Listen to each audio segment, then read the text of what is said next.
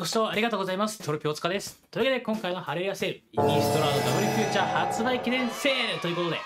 2月に、えー2日水曜日17時までの期間限定のセールとなっております。まあ、このね、イニストラードダブルフィーチャーってやつはね、えー、真夜中の明かりとシンクのちぎるね、セットが合わさってリミテッドをやるように、えー作られたセットなんですけど、まあ、基本的に入ってるカードは全部ね、白黒の仕様になっていて、まあ、ホラホラーテイスト、ゴシックホラーのテイストが、まあ、カードのね、デザインからもね、えー読み取れるというか味わえるっていうね、セットになってます。画面越しで見るとすごくまあ、白黒で視認性が悪いんですけどもただ実際ね、えーカード触ってみて遊んでみるとねすごいなんか味わい深くて、まあ、その白黒もね、まあ、気になるっちゃ気になるんですけど全体的にしっかりあのホラーのテストがね味わえるような、えデザインになってますんで、まあ、実際に手に取って遊んでみるのもいいかなと思います。はいそしてですね、まあ、その他にもですね今週はねま、禁止改定があったりとね結構大変なことが起こりましたね。スタンダードでは R の典型とゼロ助産と液晶の足は禁止と。で、えー、とレガシーではラガバン禁止ということで、えー結構ね思い切ったというかまあそっかみたいな。なんだろう。禁止出るのはちょっとまあまあ残念なとこあるんですけど、まあ、出る内容としてはなんかみんな納得というか、まあ、このカード禁止になるよねっていう感じのものが出たのかなみたいな感じがしますよね。まあ、不詳な特使だけはですねちょっと、まあ、ビートダウンがちょっと弱くなっちゃうんで、まあ、どうなってしまうんだろうみたいなスタンダードどうなってしまうんだろうみたいなとこあるんですがまあなかなか興味深い今後の環境が気になる禁止会議になってるのかなと思いましたということでじゃあ今回もねセール安くやっていきましょうはい、というわけで今週のセール注目カード第10位。こちらですね。鉱山の月です。英語版。ニアミント1980円ということで。まあえっとですねモダンとかレガシーでウルトラの物語いやさすがに禁止出るやろみたいな流れだったと思うんですけどなんとノータッチということで。まあウルトラの、えー物語ね絶賛値段がどんどん上がっているわけなんですけども。まあ、ということはですね、ウルドの物語に対する対策っていうのはしっかり取っておかなければないいけないということで、で対策カードはまだまだ値上がってないんで、今のうち買っておくのがいいのかなっていう感じですね。まあ、このカードは、出る時にカード名1枚やると、まあ、土地カードのカード名1枚1つ選ぶと。そしたら、その土地が、え、全てのね、能力を失って、何でも好きな色出るようになりますよっていうね、えー、風に変えてしまうっていう、えー土地、えーエンチャントになります。このカードでウルトの物語を指定すると、えー小能力がなくなっちゃうんで、まあ、英雄感っていうのは小能力がないと、えー、検出下げられてしまうってう性質を持つんで、瞬時にウルトの物語を無効化できますよっていうね、エンチャントになります。で、これはね、ずっとウルトの物語が出てきてから使われ続けていて、どんどんね、値上がってはいるんですけど、まあ、一時期で2200円ぐらいまで上がっていたんですが、今回はね、2200円とか2500円ぐらいまで上がってたんですけど、まあ、今回はセールということで、えー2000円以下になってますんで、まあね、どんどんこれからもね、ウルトラの物語使えていくってことを考えると、まあ、買っておいてもいいのかなって思う一枚ですね。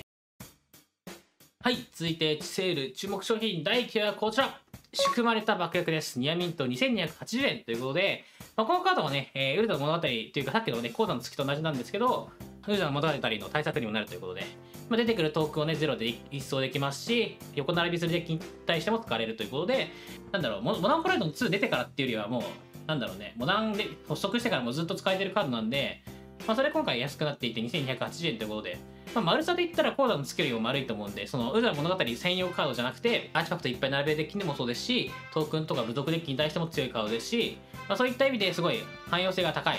カードだと思いますんで、まあ、それが2280円で買えるということで、まあ、ぜひね、買っておいてもいいのかなと思います。まあね、色選ばないですし、まあね、X、まあ、2ぐらいで全然その使えるんで、まあ、0、まあ、2色ぐらいのデッキだったらぜひね、えーこのカード、えーサイドに入れておいてもいいのかなと思います。ただ注意点としては、マナコスト X なんで、ウルトの物語から直接出すってことはできないんで、そこは注意してください。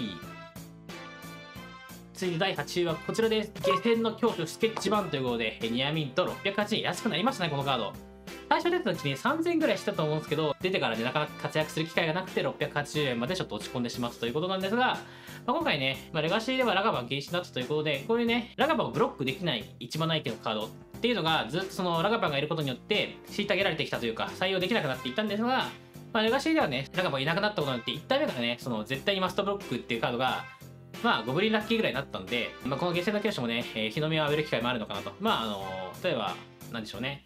ジャンドデッキを組むのに、この下船の教師レガシーでも使ってみてもいいと思いますし、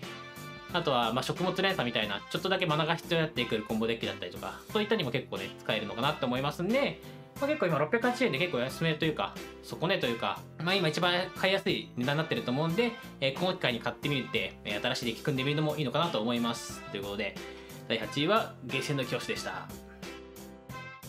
はい、続いて7位、こちらです。氷牙のコードルニアミント780円ということで、このカードもね、相当強いカードっていうか、まあ今までもずっと使われてきたんですけど、青緑の11、えー、瞬速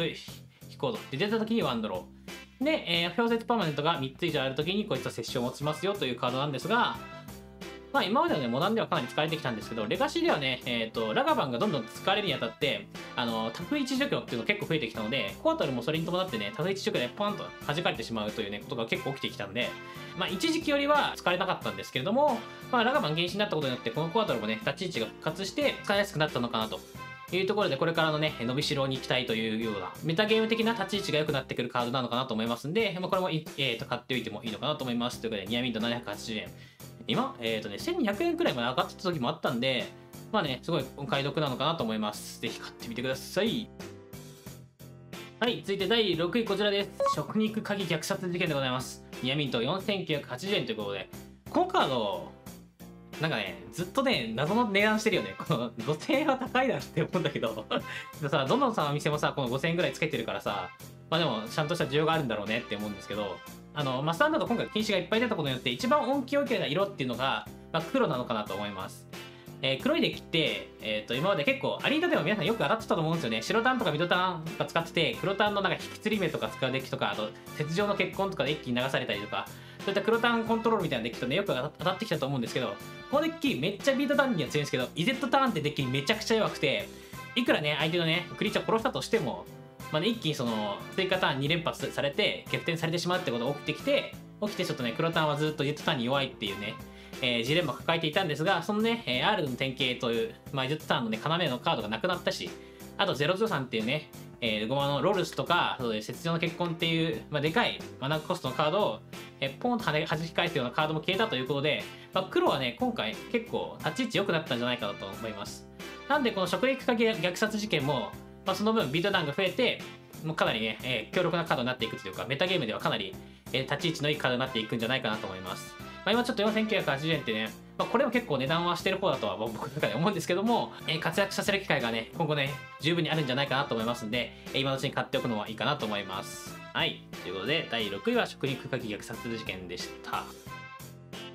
はい、続いて5位です。5位はこちら。拡張頭の正義の戦乙女ですね。ニアミント580円ということで、まあ、これもさっきと同じ理由なんですけど、もう白黒のね、クリリックデッキっていうのはね、えーと、ライフ回復することもあるし、で、ライフ回復するとめちゃくちゃでかくなることもあって、ビートターンにめっちゃ強かったんですけども、まあね、イゼットターンにはね、勝つスピードは持ってないということで、えー、ちょっと日の目を浴びてこなかった秋タイプであるんですけども、まあ、イゼットターンが消えることによって、えー、活躍の機会があるんじゃないかなと思います。この正義の戦と乙女はそのね、白黒クリリックの、えー、要となるカードでですね、3マナ24飛行で、他の天使1体かクレリック1体が場に出るたびにそのタフネス分のライフを回復すると。で初期ライフよりも7点以上多い場合、まあ27点ですね。27点以上のライフを持っている場合、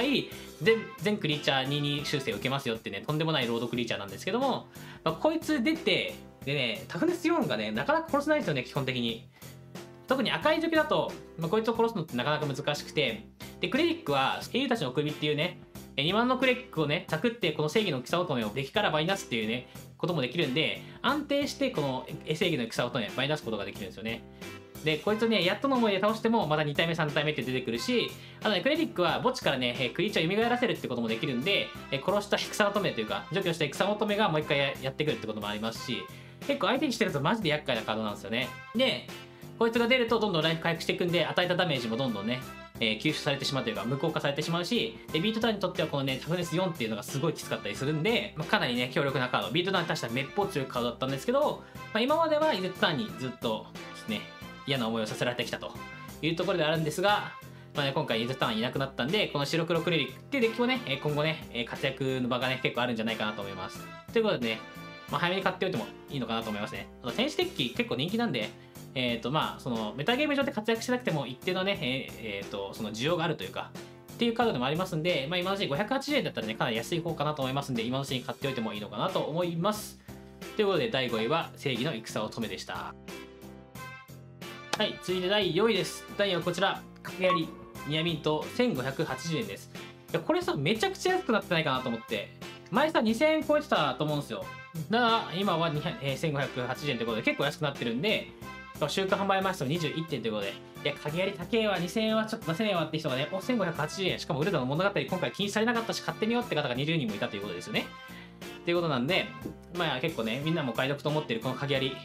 ぜひね、買っておいてもいいのかなと思います。まあ一番の装備品で装備屋にとで、えー、実習生とトランプルハンコを持って、で、1マナでターン終了時まで、対戦相手のパーマネントは15の高い負の失いますよというね、えー、カードなんですけれども、まあ、これはね、やっぱりウルザの物語からパッと出せると。ウルザの物語で、えー、構築物を特区を出して、で、第3章でこの鍵槍持ってきて装備させるっていうね、もう黄金ムーブがね、モダンでは猛威を振るってるわけなんですけども、まあ、それによってこんだけ値段上がってるわけなんですが、まあ、今回ね、ウルザの物語が禁止にならなかったということで、まあ、ぜひね、この影槍も一緒に買ってみてはいかがでしょうかというところですね。はい。ということで、第4位は影槍です。はい、アレリアセール注目商品第3位。今回はホイールのバグベアの居住地でございます。こちらですね。えー、2つ以上の土地をコントロールしているならこちらタップ状態で出ますが、まあ、タップで赤マ加えてで4マナで、えーと、11のトークン殴るたびに出す3-2の、えー、土地になりますよっていうね、まあ、ミシュラランドですね。こいつがニアミント1280円ということで、まあ、ホイールじゃんと思うんですけど、スタンダードのカードって結構そのホイールでの需要があんまなくて、その通常版よりもホイール版の方がその安いってことがよく起こるんですよね。で、これもその一つです。えっ、とね、通常版が1800円に対して、えー、ホイール版1280円ということで、まあ、光るの気にしなかったら全然ホイール版買っていいんじゃないかなっていう感じですよね。まあ、それかね、こっちの ショーケース版というか、ちょっとマジックっぽくないダンジョンドラゴンズの風味を醸し出した、えー、ワグベアの居住地を買ってみてもいいのかなと思いますね。はい。で、今このカードってスタンダードだけじゃなくて、えっ、ー、とね、本当にね、モダンカーデガシまで使えてるすごいカードなんですよ、実は。基本的にね、ミシェルランドってタップインなんですけど、アンタップイン状態出せるとこもすごい優秀ですし、まあ、そのかつそのマナフラットをケアしてくれるっていうところもありますね。で、特えー、で殴るときにトークンも出してくれるんで、数がすごい必要なデッキ、横並びしたいデッキにとってもすごい、相性がいいということで、結構赤いデッキよく使われていて、まあ、スタンダードだったらね、まあ、普通にジャンドビートダウン、イーブルビートダウンとかで使えてますし、モダンだったら赤黒、あとは赤タンとか、レガシーでもサーガレット、え、ー、と、これはですね、赤タンプリーズみたいなデッキだったり、サーガレットは、えー、っとですね、服の杯とか、そういうので相手をはめながら殴っていくっていうデッキで使われてますね。で、ヒストリックでもイゼフェニとか、アクロスアルカニスト、赤黒の系のデッキとか、パイオニアは白赤ビートダウン、黒赤ビートダウンみたいなデッキを使われているということで、結構もう引っ張りだこなんですよね。このバグ部屋の居住地ってカード。で、今1280円なんですけど、まあね、スタンダード落ちたらもっともっと需要が上がるというか、値段上がっていくような気もしますし、まあね、ちょっとフォートレール自体がね、あんまりね、その人気がないというのがちょっと事実なところがあって、あまり向かれていないと思うんですよね、そんなに。なんで、えー、今後ね、えー、スタンダード落ちた時に、そのカードがなくて、どんどん値上がっていくってことは全然あり得るのかなと。あとはその、フォートレール自体がコラボエフェクトなんで、なかなか再録しないしにくいのではないかという僕の個人的な予想があるんですよね。なんで、こういったそのフォートネームで使えているカードっていうのは今のうちに揃えておくと後々ねあの時買っておいてよかったんだなっていう風になるのではないかという風に思います。ということでぜひね買ってみてください。ということでバックベアの居住地第3位でした。はい。続いて5第2こちらです。プロモ版のコルです。2ハミント580円ということで。まあ普通のコルに比べるとちょっと割高なのかなと思うんですよね。普通のバージョンは300円でこういった580円ということでちょっと割高なんですけどそういったプロモカードってその通常版に比べて結構圧倒的な値段したりするんですよね。確かね、結成の原子のフライデーナイトプロモバージョンって2400円ぐらいまで値上がったりとかしてたし、エコールはね、えー、っていうカード自体がその結成の原子よりも今扱われてるカードなので、今後ね、結構値上がっていったりとかすることも考えられるのかなというふうに思います。下環境でそのこういった、えー、ドロソースとか結構長く使っていくと思うので、なんだろう、デッキをね、ちょっと愛着を持たせたいとか、で、ちょっとね、えー、とこだわりを持たせたいって方はね、結構このプロモカード結構合ってるのかなと思いますし、時間の形にすれね、どんどん数少なくなっていってというか、需要の方が大きくなっていってっていうふうに考えられるんで、まあ、今のうち580円っていう値段をね、ちょっとおしゃれするのには結構ちょうどいい値段なのかなと思いますんで、えー、買ってみるのもいいと思います。考慮ね、この考慮ってカード大好きって人はぜひ、ね、買ってみてください。はい、というわけで第2位はプロモ版考慮でした。はい、というわけで今回のハレルヤセール、注目商品第1位はこちらミシュラのガラクタでございます。ということでね、はい、ゼロマーのアーティファクト、ニアミント1280円ということで、はい、てかもうこれはね、ほんとモダン好きな人だったらね、もう誰でも知っているっていうカードではあるんじゃないでしょうか。まあ、サクって、サクると、まあね、えー、ターゲットの、まあ、自分か相手のライブラリトップ見て、で、次のターンのアップキープの開始時にワンドローできるよっていうね、まあ、キャントリップのアーティファクトですけれども、まあ、キャントリップがスロートリップ。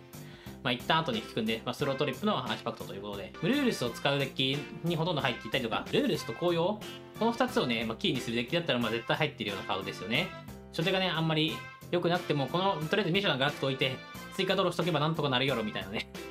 とかありますし、まあ、ルールスがあればね、えー、こいつサクってまたねすぐ出してっていうねルールスがいる限り追加ワンドローがずっと行えるってね、えー、気軽に使えるアーティファクトにもなりますしあと簡単に高揚達成できて、まあ、チャネラーが33になったりとかね、まあ、そういった方の感じでいろいろな、えーと、役割を持っているカードです。もちろんアーティファクトデッキだったらね、まあ、親和のアーティファクトのね、助けになったりとかしますし、本当にね、なんか、あれね、えー、スーパークレイジーズーの時かなに出てきて、それから一気に跳ね上がったというか、注目を浴びたカードで、で、今までもずっと使われてると。で、禁止カードになれちゃうかっていうふうにも言われていたんですけど、まあまあ、ここまでやってこれたということで。で、前まではね、2000円、3000円ぐらいまでしてたので、それ1280円ってことで結構安くなっているんで、まあ、今回結構ね、お買い得なタイミングなのかなと思いますんで、えー、ぜひね、このミッションのガラクタ、まあ、買ったらまあ損はしないかなというようなカードではあると思いますんで、ぜひね、4枚添えておくのがいいかなと思います。はい、というわけで今回はですね、えー、イニストラート W フィーチャー発売記念セールということでやっていきましたけども、まあ、基本的には今回はですね、まあ、禁止改定によって、まあ、今後ね、注目が集まるようなカードをね、えー、紹介していったか感じになりましたが、まあね、ぜひね、今回紹介したカード、ね、今まで揃えておいたら、えー、後々いいことがあるかもしれませんということでね、えー、2月2日水曜日17時までの期間限定のセールとなっておりますので、ぜひね、このセールを利用して新しいデッキ組んでみてはいかがでしょうかということで、今回の動画は以上になります。よろしければチャンネル登録と高評価よろしくお願いいたします。というわけで、トロピーお疲れでした。また次回。今日の負けはこちら。最後までご視聴いただきありがとうございます。よろしければチャンネルの登録、そして高評価よろしくお願いいたします。また、マジックのカードをご購入の際は、概要欄のリンクからハレリアをぜひご利用ください。それでは次回の動画でお会いしましょう。